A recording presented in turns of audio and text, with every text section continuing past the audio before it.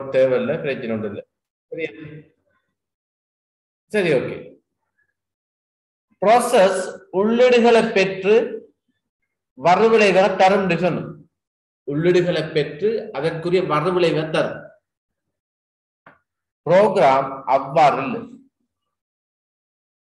Program என்ன செய்யாது? உள்ளீடுகளுக்கு பெற்று வறுவிளைவை தராதுன்னு சொன்னது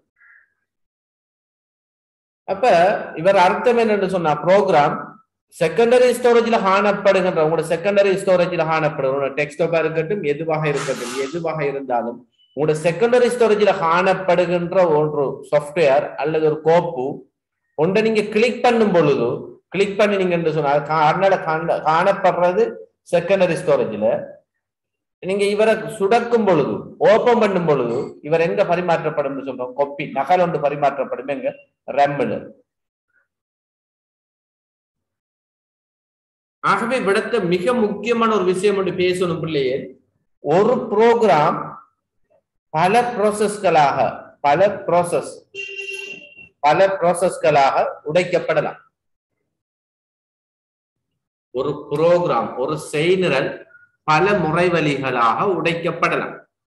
ஆனால் ஒரு முறைவழியை எடுத்துக்கொண்டீங்கன்னு சொன்னா ஒரே ஒரு ப்ரோக்ராமுக்கு மட்டும்தான் அவர் சொந்தமா இருக்கும். அதாவது இது வண்டுமெனி ரிலேஷன் என்று சொல்றது. வண்டுமெனி ரிலேஷன்ஷிப் என்று பேசுறவர். சரி ஓகே இவ இப்படி இந்த விடயங்கள் உங்களுக்கு தெளிவாக விளங்கி இருந்தா அது உங்களுக்கு தெளிவாக விளங்கி இருக்கும் சரி அப்படி நான் நான் பேசின விடயங்கள் போன கிளாஸ்ல பேசப்பட்ட விடயங்கள் தான் இவைகள் தெளிவாக விளங்கி இருந்தால் போன கிளாஸ்ல படிப்பிக்கப்பட்ட விடயங்களும் இதுக்கு பிறகு பேசப்படுற விடயங்களும் தெளிவாக விளங்கும். இவ்வளவுதான் ப்ராசஸ் ஆகவே இந்த ரெம் ப்ராசஸ்ட உருவாக்கம் பேசுற அர்த்தம் என்னடா இந்த ப்ராசஸ்ட உருவாக்கம் சொல்ற மீனிங் என்னன்னு சொன்ன பிள்ளைகள் இந்த ரம்முக்கு இந்த ரம்முக்கு ப்ரோக்ராம் எப்ப வரும் இந்த ரம்முக்கு ப்ரோக்ராம் எப்பொழுதெல்லாம் வரும் பேசுறோமோ அதனால் அதான் ப்ராசஸ்ட உருவாக்கம். ஒன்று அதுல முதலாவது பேசினோம். நான் டியூட்டரில் நான் இன்றைக்கு டியூட்டர் அப்லோட் பண்ணி வச்சிருக்கேன். நான் முடியும் பொழுது இந்த கிளாஸ் முடிகிற எண்டாவது சந்தர்ப்பத்துல நான் உங்களுக்கு ஷேர் பண்ணி விடுறேன். சரியா? கிளாஸ் செகண்ட் செஷன்ல ஆகுற சந்தர்ப்பத்தில் ஷேர் பண்ணி விடுவேன். அந்த டவுன்லோட் பண்ணி எடுங்க. ஒன்று ப்ரோக்ராம் வந்து உருவாகிற சந்தர்ப்பம்.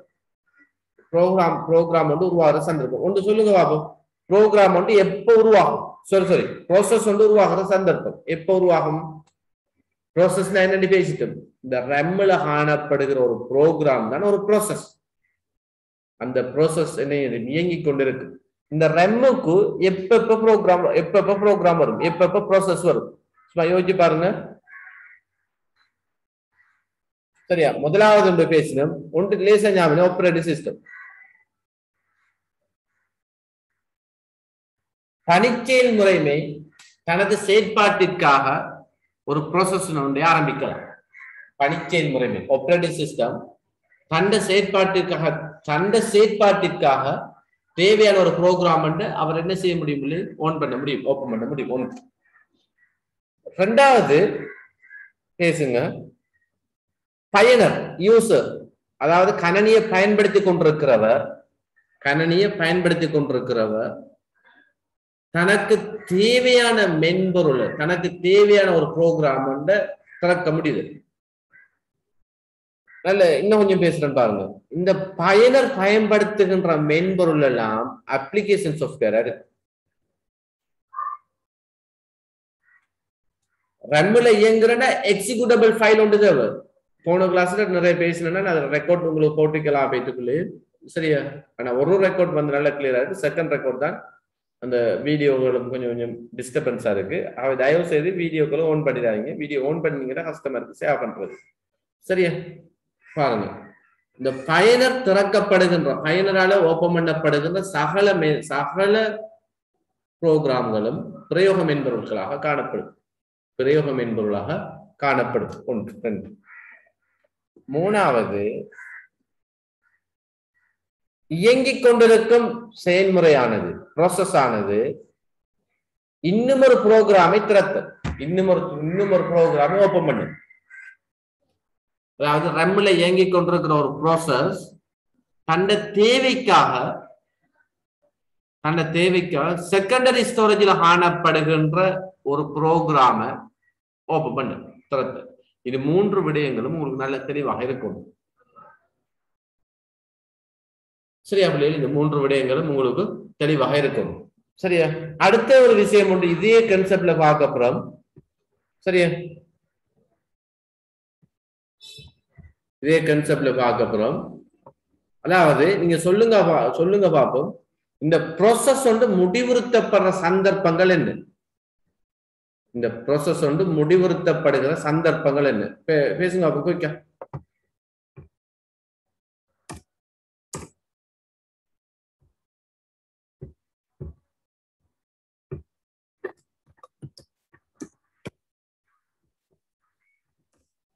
ஒரு ப்ராசஸ் இப்ப ரம்முக்கு வரப்பட்டுட்டு எப்போ இந்த ஒரு ப்ராசஸ் ரம்மில் இருந்து நீக்கப்படும்?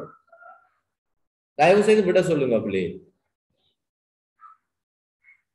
ஏழு மண்டா தமிழால டைப் பண்ணி பாருங்க. போன்ல இருக்கிறார்கள் தானே எல்லோரும் என்ன?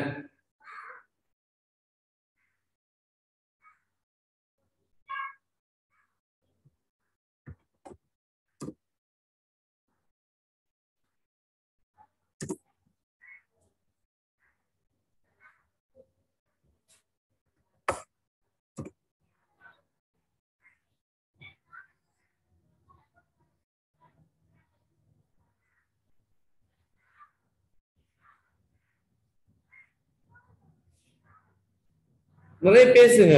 நிறைய விடைகள் சொல்ல முடியும். உங்களுக்கு நிறைய விடயங்கள் தெரியும் நிறைய பேர். அவ பேசுங்க. என்ன சரி பிள்ளையா இருக்கிற டைம்ல நான் பேசிக்கொள்ளும். சரியா?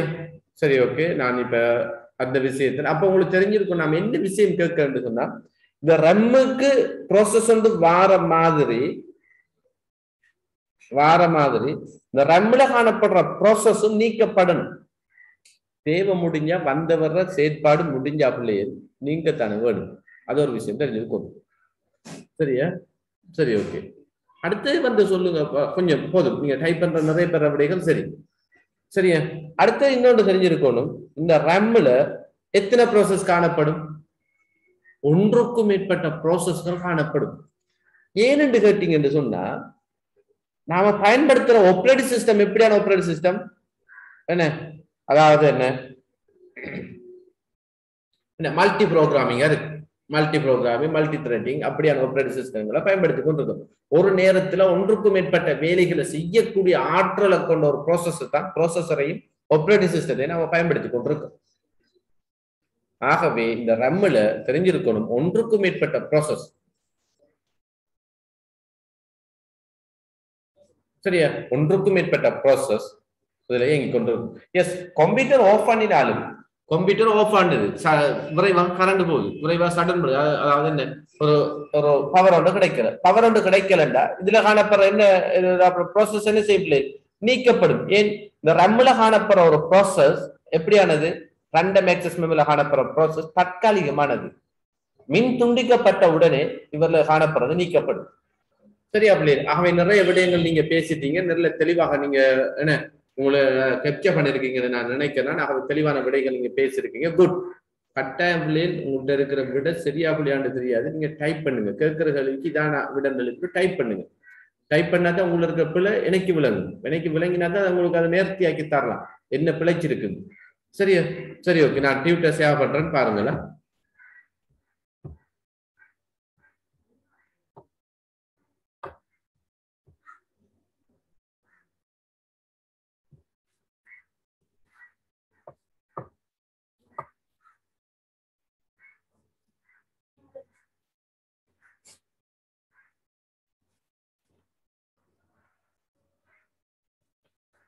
சரியா? அப்ப இந்த டியூட்ல பாத்தீங்கன்னு சொன்ன ஆகவே செயல் உருவாக்கத்துக்கான காரணங்கள் என்ன?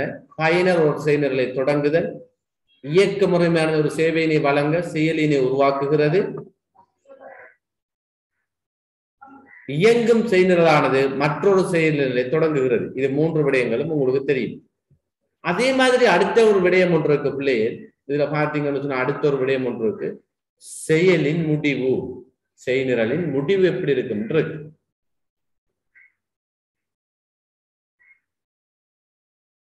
ஒரு செயல் முடிவடைந்தவுடன் இயக்க முறைமையானது குறித்த செயலுக்கு ஒதுக்கப்பட்ட அனைத்து விடயங்களையும் மீண்டும் பெற்றுக்கொள்ளும் அது இது மிக முக்கியமான ஒரு பாயிண்ட் பிள்ளை.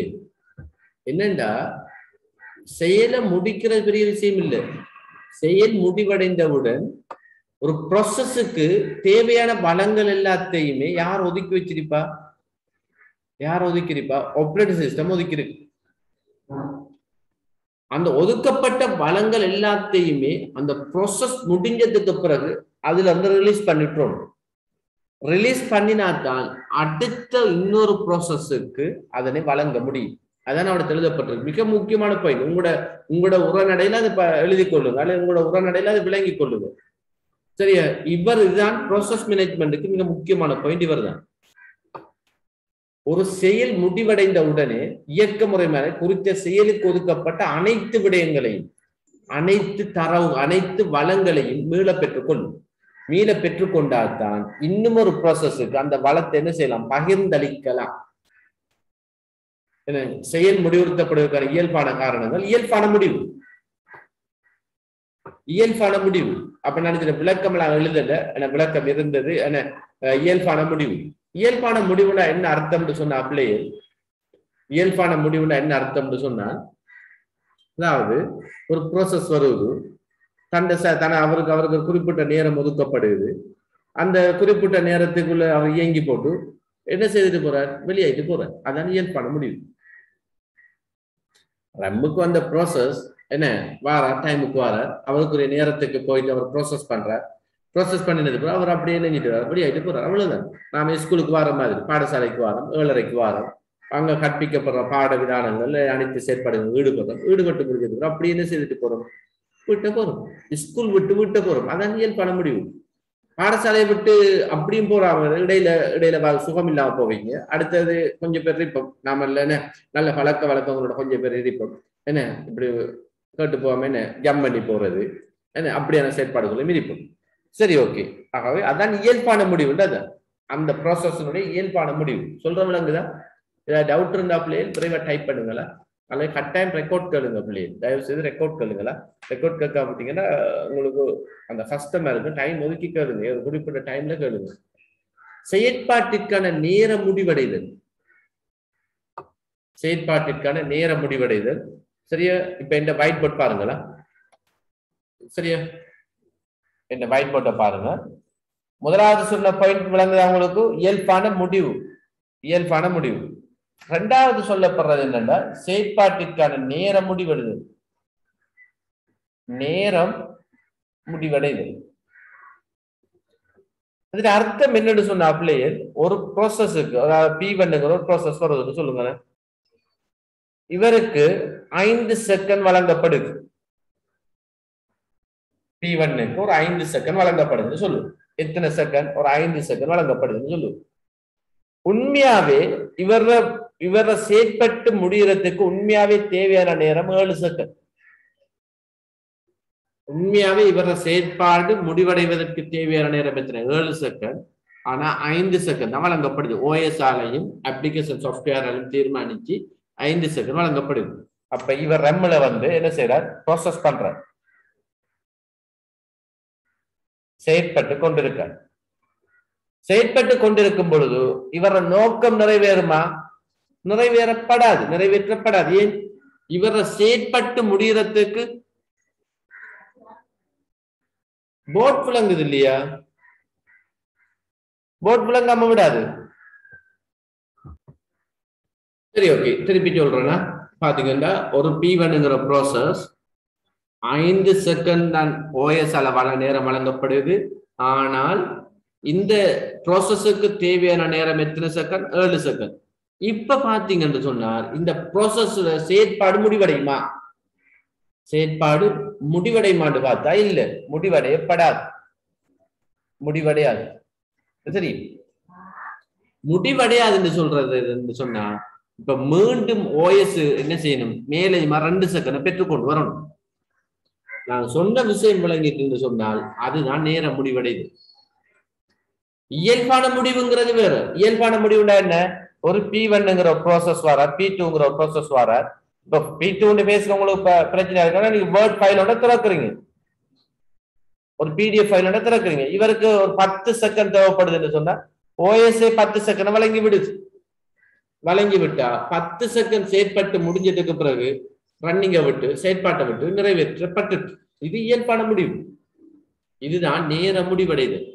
அதாவது என்னென்று சொன்னால் தான் செயற்பட்டு கொண்டிருக்க செயற்பட தேவையான நேர தேவையான நேரத்துக்கு முதல் தனக்கு வழங்கப்பட்ட நேரம் முடிவடைதல். தனக்கு வழங்கப்பட்ட நேரம் முடிவடைதல் தான் அவருக்கு என்ன எழுதப்பட்டிருக்கு? நேரம் முடிவடைதல் என்ற சொல் எழுதப்பட்டிருக்கு. அடுத்து அடுத்த பாயிண்ட் பாத்தீங்கன்னு சொன்ன பிளேயர் சரி முதலாவது என்ன? இயல்பான முடிவு. இரண்டாவது என்ன இருக்கும் செயற்பாட்டிற்கான நேர முடிவடைதல் இருக்கு மூணாவது பாத்தீங்கன்னு சொன்னா செயற்பாட்டுக்கு தேவையான பலங்கள் கிடைக்க பெறாமை அப்ப ஒரு ப்ராசஸ் செயற்பட்டு கொண்டிருக்கு. ஒரு ப்ராசஸ் என்னப்பட்டிருக்கு ப்ராசஸ் ஒன்று செயற்பட்டு கொண்டிருக்கு. அந்த ப்ராசஸ் செயற்படுறதுக்கு தேவையான பலம் ஒன்று கிடைக்குது இல்லை கிடைக்கலன்றாலும் ரன்னிங்ல இருந்து வெளியாகிடுவார் தான் அந்த செயற்பாட்டில் இருந்து என்ன செய்வார்? வெளியாகிடுவார் ஏன் என்று சொன்ன பிள்ளையர் என்ன கிடைக்காத ஒரு நபரை ஏன் வச்சு கொள்ளணும் மூணாவது விஷயத்தை பாத்தீங்கன்னு சொன்னா வளங்கள். வளம் ரிசோர்ஸ் ஒரு ப்ராசஸ் இயங்கி கொண்டிருக்கு.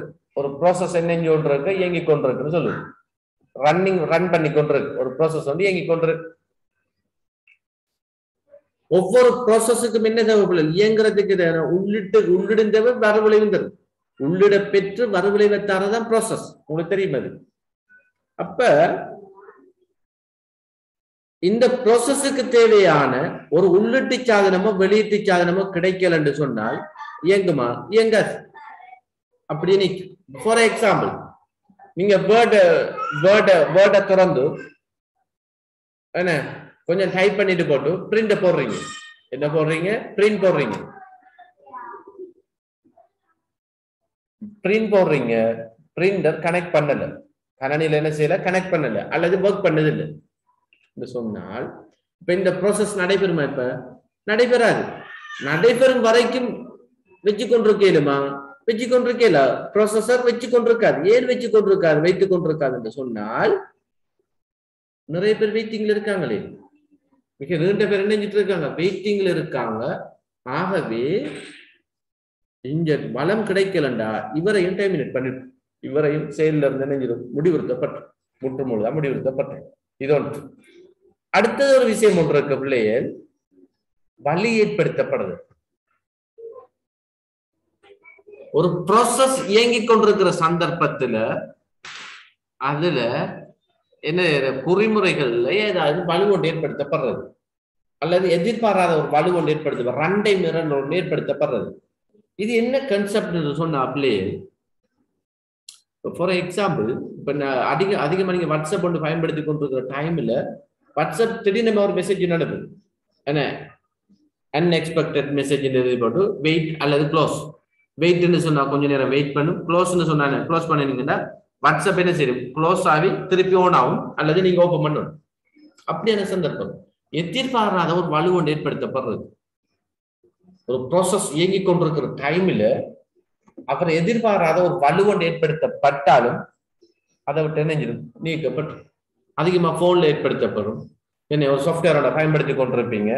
அங்கே இடம் இல்லை அல்லது இன்பு உள்ளிட்டு உள்ளிட்டு கருவி அல்லது வெளியீட்டு சாதனம் அல்லது இன்னும் ஒரு மென்பொருள் தலையீடு காரணமாக ஒரு மெசேஜ் ஒன்று வரும். ஓகே பண்ணுவோம் அல்லது எது ஒன்று பண்ணுவோம். என்ன செய்யும்? அந்த ப்ரோக்ராம் அந்த சாஃப்ட்வேர் க்ளோஸ் ஆகிடும். நான் சொல்ற விஷயம் அடிக்கடி எல்லோரும் அனுபவிச்சிருப்பீங்க. என்ன எல்லோரும் இப்போ போன்லயும் அதுல இதுல குந்திட்டு இருக்கிறார்கள். அடுத்த வந்து என்ன கூடுதலான சாஃப்ட்வேர் பயன்படுத்தி கொண்டிருக்கிறார் கூடுதலான கேம் விளையாடுறார்கள். அப்படி இப்படிதான் செயற்பாடு இருக்கு. சரியா சரி ஓகே அவ இதுவரைக்கும் பேசினத்துல விளங்காத ஏதாவது ஒன்று இருந்தா பேசுங்க. அல்லது உங்களோட செயற்பாடு ஏதாவது ஒன்று இருந்தா சொல்லுங்க. நான் அதுக்கேற்ற வகையில நான் அதை சொல்லிட்டு போறேன். சரி ஃபாஸ்டா இருக்கா பேசுறதுலயே யாருக்கும்? இதுல டியூட் அப்லோட் பண்ணிருக்கேன். கொஞ்சம் வெயிட் பண்ணுங்க. நான் உங்களுக்கு அதை அடுத்த செஷன்ல போட்டு விடுறேன். சரி. வேற யாருக்கும் ட்ரபிளா இருக்கா பேசுறது? சரி ஓகே. அடுத்து இன்னொரு விஷயம் ஒன்று இருக்கு. நினைவகம் ஈரல் நாலாவது ஒரு விஷயம் இருக்கு.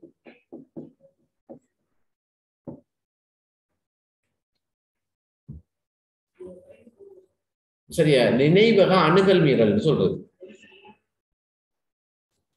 இவரை சொல்றேன்னு பாருங்க. நினைவக அணுகல் மீறல்னா என்னன்னு சொல்றேன்னு பாருங்க. இவர் மிக முக்கியமான ஒன்று.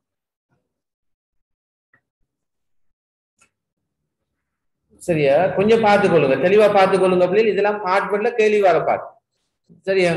ஆகவே என்ன? கேள்வி வர பாட் கொஞ்சம் தெளிவா பார்த்து கொள்ளுங்க எல்லா விடயங்களையும். இது ரெம்மண்டு பேசுங்க இவர் இதான ஒரு ப்ரோக்ராம் செகண்டரி ஸ்டோரேஜில் இருக்க ப்ரோக்ராம் இந்த ப்ரோக்ராம் இங்க வந்ததன் பிறகு இவர் என்ன மாறும்? ஃபார் எக்ஸாம்பிள் இந்த இவ்வளவு இடத்தையும் பிடிச்சிருக்குன்னு சொல்லுவோம் இவரோட பேர் தான் என்ன பிள்ளை ப்ராசஸ் இந்த ப்ரோக்ராம திறந்ததன் பிறகு ஓப்பன் பண்றா? ஒரு தேவைக்காக நீங்க ஓப்பன் பண்றீங்கன்னு சொன்னா இந்த ப்ரோக்ராம்ல ஒரு பிறகு எங்க ஓடி வரும்?